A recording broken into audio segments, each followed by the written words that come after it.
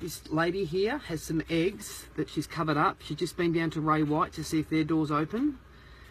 She's looking in our window. She's concealing some rotten eggs, and on the container it said what? No junk mail. It said the no junk mail eggs, so she's allowed these eggs to become rotten. So she's waiting near our window. This has got to be the most disgusting thing I've seen in my career, what this lady's about to do. She's been reported to the police. So she's waiting, waiting. Now just watch now. Michelle Winkle is opening the office. Okay. Michelle Winkle's opening the office. She's gone in. Right, the lady. Now we'll go to this video.